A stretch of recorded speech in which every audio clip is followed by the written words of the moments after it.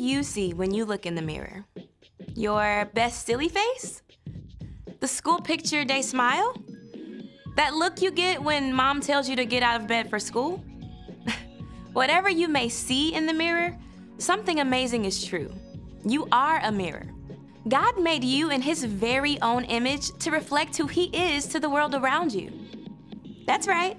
When people look at you, they can see a little piece of what God is like. Not the way your mouth is shaped or the color of your eyes, but when you choose to encourage someone, hey, great job today. Others can see God's kindness. When you paint a picture, they catch a glimpse of the God who imagined the whole world. When you help your friend solve an argument, they can see a reflection of the God who made peace with us. The God who thought up the entire universe made you to look like Him. And when you use your imagination, you can show the whole world a little piece of what He's like. That's why creativity is an amazing way to worship God with your life. Because worship is about more than just singing loud, it's all about living loud.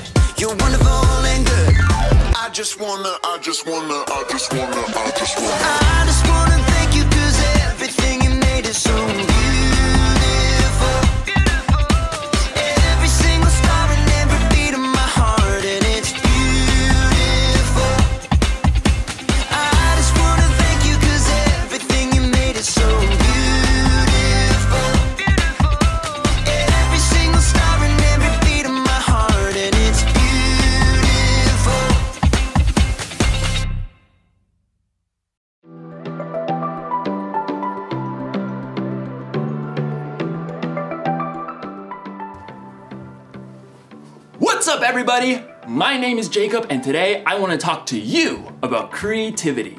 Because there's so many different ways to be creative, right? You could be like a creative actor. Alas, poor Yorick.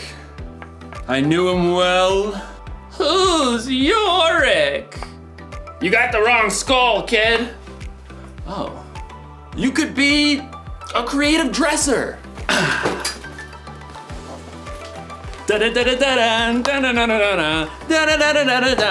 Hey! You could be like a creative, I don't know, scientist? But most of the time when you hear the word creativity, you think of something like this. A work of art. Or maybe you think of something like this. Wonder what's got him so anxious. Oh! Oh! Ugh, ewy. In today's story, you're going to hear about the very best creation of all time. Actually, it's the very first creation of all time. It's where creativity was born. And cockroaches. Uh, no, it's good. It's, uh, it's indescribable. See you in a few. The Bible. It's 66 books of history, stories, letters, and poetry that fit together to form God's one big story. The epic adventure of how He created us and loves us so much that He made a way to rescue us. As we travel through the Bible, from Genesis to Revelation, we discover people who met God and found their lives changed forever. Now, for an amazing story inspired by the book of Genesis, chapters 1 and 2. In the beginning. The very beginning. Before the first breath. Before the first flash of color. Before the first moment in time. There was. Nothing. Nothing. Nothing except God. But when God saw nothing, he saw a blank canvas. He saw the perfect backdrop for a work of art beyond imagination. So, God created. From absolutely nothing, He brought forth the heavens and the earth. But there was no shape or form. God's Spirit hovered over the dark emptiness. Then, God called out, Let there be light. Brilliant light shattered the darkness like golden trumpets on a still morning. Bright rays shimmered and danced in all the hues of the rainbow. God saw the light was good. He divided the light from the dark, calling the light day and the darkness night. Evening and morning together shaped the very first day of all time. Then God said, Let there be a huge space between the waters. Let it separate water from water. By his words alone, God shifted the waters, leaving a vast arching space above the sky. Evening and morning rolled past, the second day.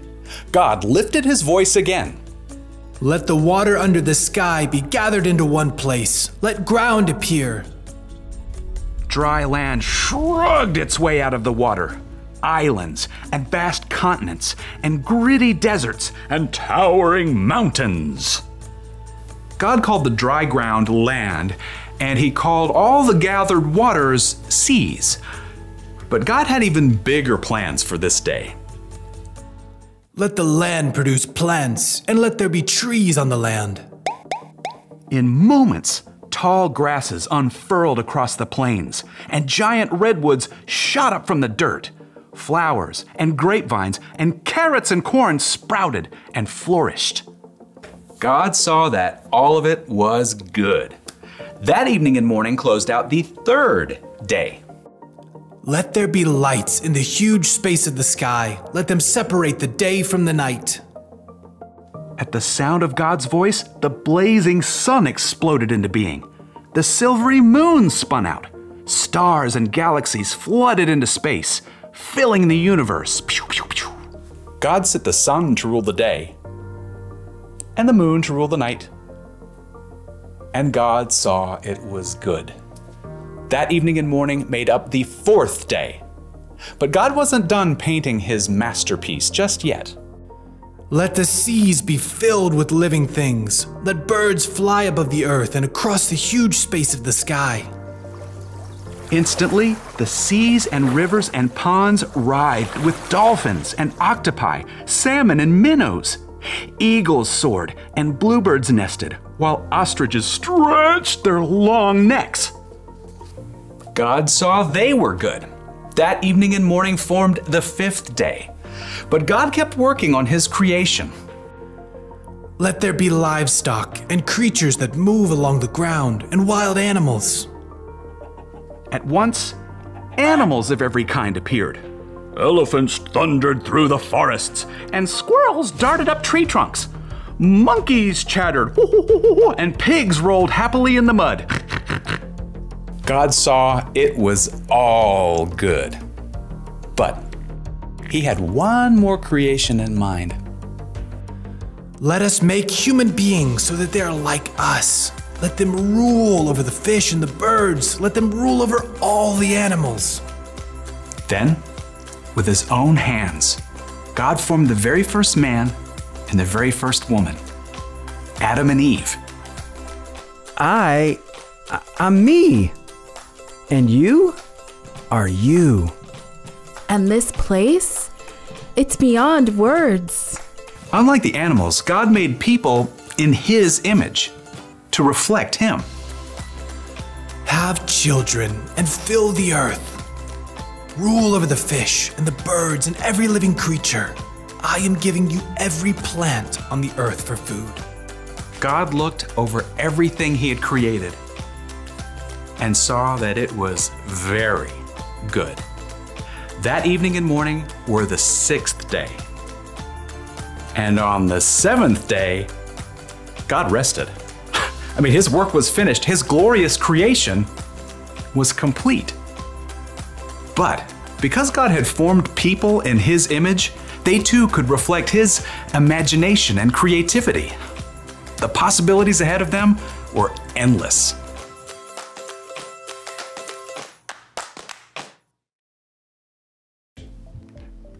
Okay, I just thought of another way to describe creativity. Creativity is imagining what you could do because you were made in God's image.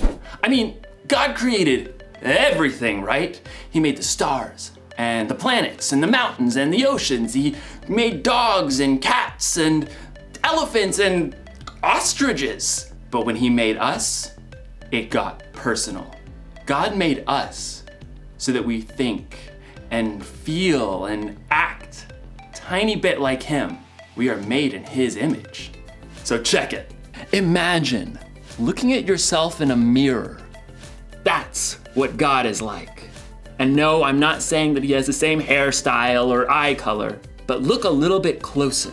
There's imagination behind your eyes. You have a smile that could encourage someone when they're feeling down. And your hands that could help someone lift a heavy load. Ugh. All right.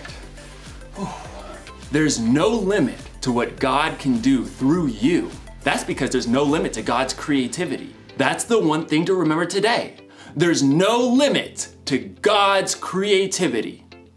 Seriously, take a look this week at the things God has made and let it blow your mind. Look at the stars in the sky and think about how it could take literally millions of years just to visit one up close. Listen to the sounds outside your window at night and let yourself wonder how do crickets make that noise anyway? And then look really close in the mirror and see how unique you are. See the color and feel the texture of your skin. Look deep in the reflection of your eyes to see a God that made you and loves you more than you could even imagine. That should give us all a lot to think about.